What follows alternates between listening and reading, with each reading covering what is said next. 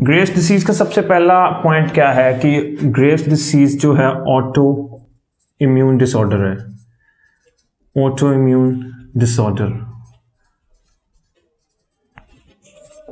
Graves अब normally क्या होता है कि जो हमारा ये है पिट्यूटरी ग्लैंड का एंटीरियर पार्ट और ये है हमारा थायराइड ग्लैंड थायराइड ग्लैंड के ऊपर यहाँ पे लगे हुए हैं रिसेप्टर्स कौन से receptors T S H receptors T S H receptors लगे हुए हैं। जो हमारा एंटीरियर पिट्यूटरी है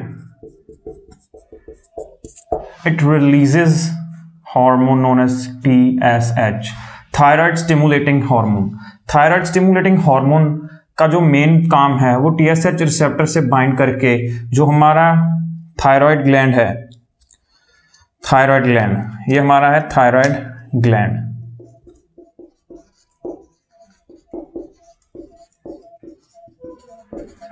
टीएसएच रिसेप्टर से बाइंड करके, इनको स्टिमुलेट करके, वो थायराइड ग्लैंड की एनलार्जमेंट करवा देता है।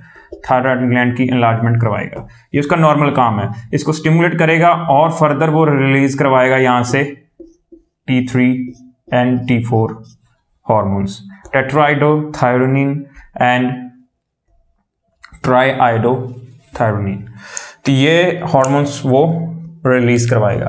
पर हमारा जो ग्रेव्स डिसीज है, ये ऑटो इम्यून डिसऑर्डर है, इसमें क्या होता है? बजाय टीएसएच के हमारी बॉडी खुद प्रोटीन्स या फिर एंटीबॉडीज एंटीबॉडीज प्रोड्यूस करती है और ये एंटीबॉडीज टीएसएच रिसेप्टर्स के साथ बाइंड कर जाती हैं। जब ये टीएसएच रिसेप्टर्स के साथ बाइंड करेंगी तो ये antibodies similar to T S H जो हार्मोन इंटीरियर पिट्यूटरी रिलीज़ करता था सेम इसकी मिमिक्री करेंगी और इस ग्लैंड की, इस ग्लैंड से T three and T four release करवा देंगी। तो इसमें क्या होगा? टी थ्री और टी फोर का लेवल बढ़ जाएगा। टी थ्री और टी फोर का लेवल बढ़ा हुआ मिलेगा। और सारे जो इफेक्ट्स आएँगे, वो इसके बड़े हुए लेवल के कारण, जो भी हमें क्लिनिकली पेशेंट प्रेजेंट करेगा, वो टी थ्री और टी फोर का बढ़ा हुआ लेवल के कारण पड़ेगा। आपने कभी भी देखा होगा, जो ग्रेव डिसीजेस का दूसरा नाम क्या है? एग्जेप्थोलमिक ग्वाइटर एग्जेप्थोलमिक ग्वाइटर इसका दूसरा नाम है। इसकी कभी भी आप पिक्चर देखो तो उसमें क्या दिखा रखा होता है कि एक फीमेल होती है। फीमेल की जो आईज होती है, वो बल्जिंग होती है। हमेशा इसमें आप कभी भी कोई टेक्स्ट बुक पढ़ लेना, कोई स्टैंडर्ड टेक्स्ट बुक होगी, उसमें फीमेल की पिक्टोरियल रिप्रेजेंटेशन होती है। तो ये कहने का मतलब है कि this is more common in women Grave disease is common in women और इसमें प्रोट्रूजन ऑफ़ आईबॉल होता है। वो आईबॉल क्यों हमें बाहर की तरफ़ आती हुई नज़र आ रही है?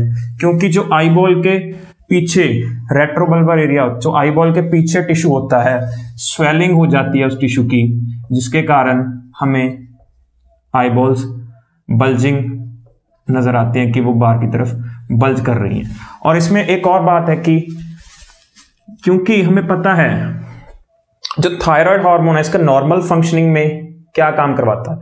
थायराइड हार्मोन एक कैलोरीजेनिक हार्मोन है। कैलोरीजेनिक का मतलब है कि ये एनर्जी प्रोडक्शन में काम आता है।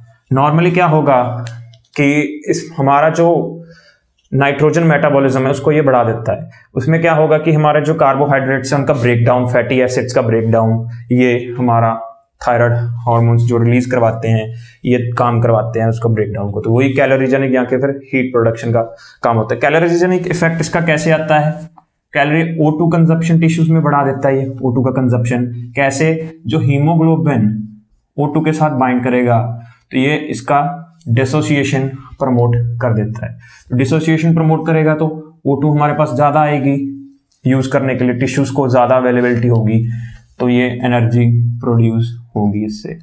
और ये सोडियम पोटेशियम एटीपीएस की वर्किंग को भी बढ़ा देता है। तो ये इसके कैलोरीजेनिक इफ़ेक्ट आ जाते हैं। अब इसमें क्या होगा? इसका लेवल बढ़ा हुआ है तो हमारा हीट प्रोडक्शन ज़्यादा होगा। हमारे फैटी एसिड्स बर्न होंगे प्रोटीन्स बर्न होंगे तो उसके कारण क्या होगा? हमारा body weight low body weight low body weight feature के साथ भी पेशेंट प्रेजेंट करेगा, क्योंकि उसके जो नॉर्मल मेटाबॉलिज्म है लो बॉडी वेट हो रहा है। अब उसको, उसकी बॉडी का वेट कम हो रहा है, क्योंकि उसके प्रोटीन्स और जो फैट डेपोजिट्स थे, वो बर्न हो रहे हैं तो वो हाइपरफेजिक हो जाएगा। उसको भूख ज़्यादा लगेगी। हाइपरफेजिया भूख का ज़्यादा लगना, उसको खाने में खाना ज़्यादा खाएगा वो, क्योंकि उसके वो बर्न हो रहे हैं, जो डिपॉजिट्स हैं प्रोटीन रिज़र्व फैट्स के, वो बर्न ज़्यादा हो रहे हैं। तो इसके कारण हाइपरफेजिया के साथ भी हमें प्रेजेंट होगा।